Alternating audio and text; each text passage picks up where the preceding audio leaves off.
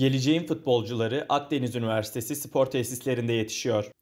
Galatasaray Futbol Akademisi futbola yeni yıldız adayları kazandırmayı hedefliyor. 8 yaşındayım. Ee, 2013'te doğdum. Orta sahada oynuyorum. Kaptanım, takımın kaptanıyım. Çok seviyorum. 3 yıldır oynuyorum. Hiç bırakmadan oynuyorum. Sağ kanat sol kanat değiştiriyor hoca beni. Ee, yani bazen forvetleri de geçebiliyorum. Mevkilerimi öyle başka mevkilerde oynamıyorum. Futbola erken yaşta başladım ve hala severek oynadığım bir spor türü. Bırakmayı düşünmüyorum. Hocamız da iyi olduğu için tabii her geçen gün daha çok gelişiyoruz.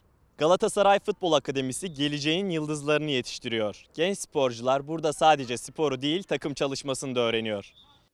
Futbolda başarıyı getiren unsurlardan biri takım ruhu. Minik yıldızlar şimdiden birlikte hareket etmeyi öğreniyor.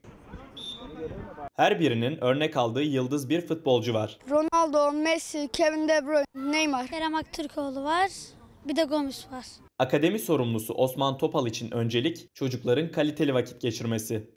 E, buradaki bizim amacımız çocukların daha disiplinli, daha kaliteli bir hayat geçirebilmeleri için uğraşıyoruz burada. Hani biliyorsunuz bu yaş kategorilerindeki en büyük problem çocuklarda disiplin, işte beslenmedir vesaire bu tarz şeylerde velilerimiz de çok fazla bize şikayetlerde bulunuyorlar. Bizim amacımız buradaki durumu minimum seviyeye indirmek. Çocukların daha kaliteli, geleceklerine daha güzel yatırım yapmalarını sağlamak için uğraşıyoruz. Küçük yaşlarda spora başlamak gelecek yıllarda avantaja dönüşüyor. Genç sporcular futbol okulunda öğrendikleriyle gelecekteki kariyerlerine yatırım yapıyor.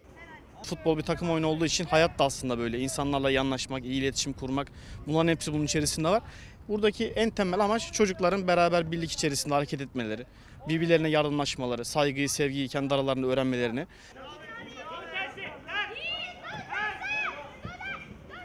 Futbol okulu sayesinde çocuklar sosyalleşmeyi, disiplini ve mücadeleyi öğreniyor.